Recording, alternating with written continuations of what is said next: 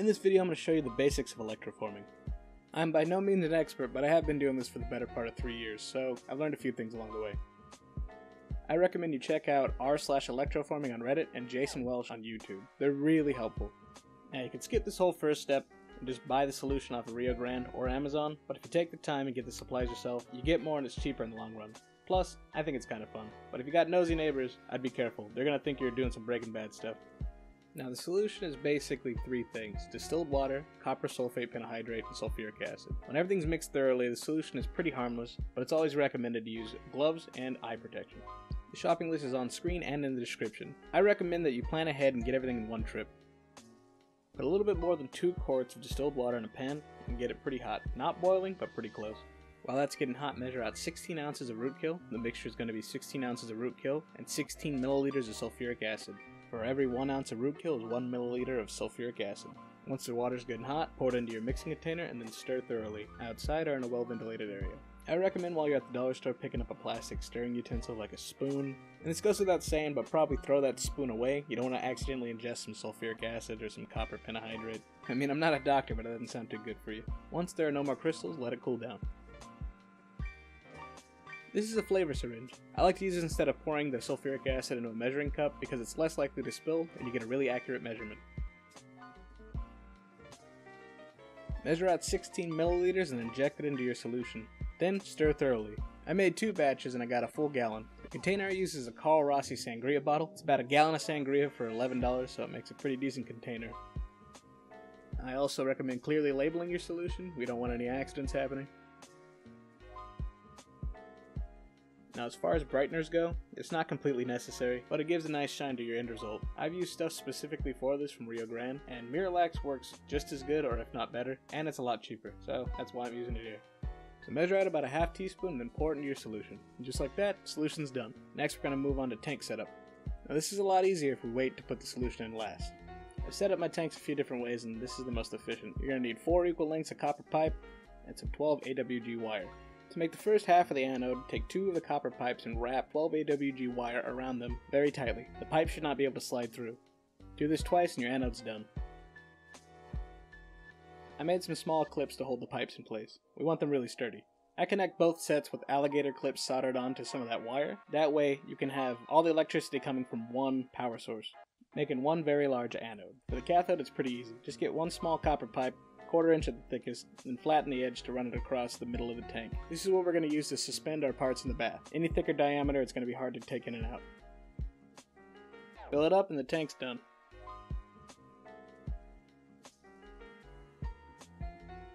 Now in order to put copper on our pieces, we're going to have to use some sort of conductive material. The three methods that I use are mixing graphite with acetone.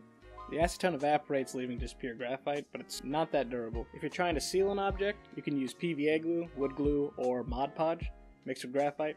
It's not the greatest fidelity, but it will seal the object underneath. And if you want high definition, I would use an ink mixed with graphite. I use India ink and graphite and it works really well. I tend to use this one the most. This copper pipe circuit board ring is my take on a Crafsman project. I really recommend you check out Crafsman. His videos are really good.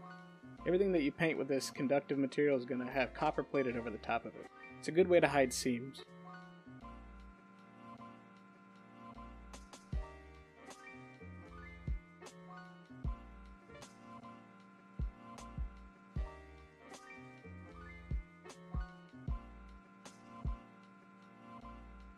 Now this bark is an organic material, so we're going to have to seal it with the Mod Podge and graphite.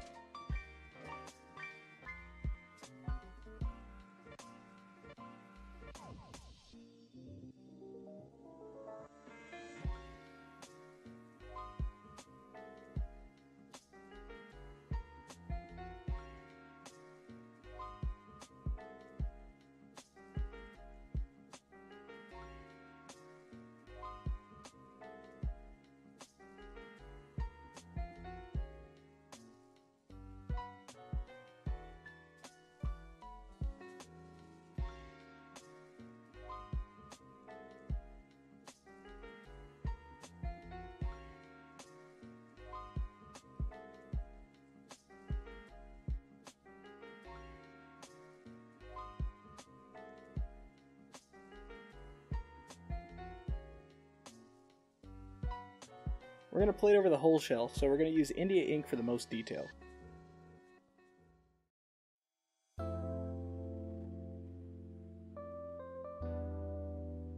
After you've painted it on, make these little Christmas hooks and then dangle it into your solution, making sure it doesn't touch the anodes.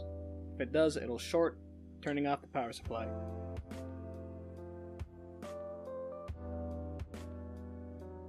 Some power supply tips. A lower voltage for longer will produce a cleaner plate. But if you wait a couple hours and then turn the voltage up, it'll have a bunch of nodes growing on it, kind of like a sunken treasure look. I think it's pretty neat.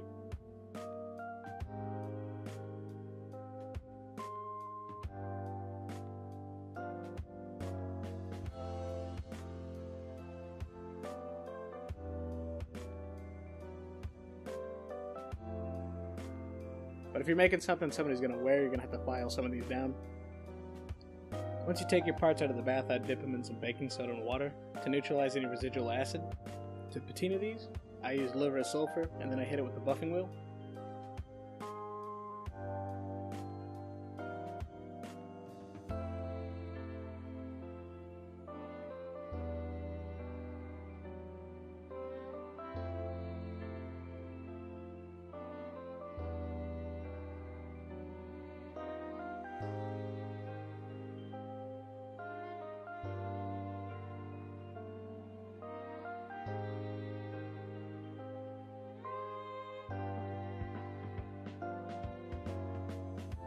And that's pretty much it. I hope you found this video useful. I think it's a pretty neat hobby to get into and it's pretty cheap to start. Everything I got here was around 100 bucks. Anyway, like and subscribe and all that, and I'll see you in the next one.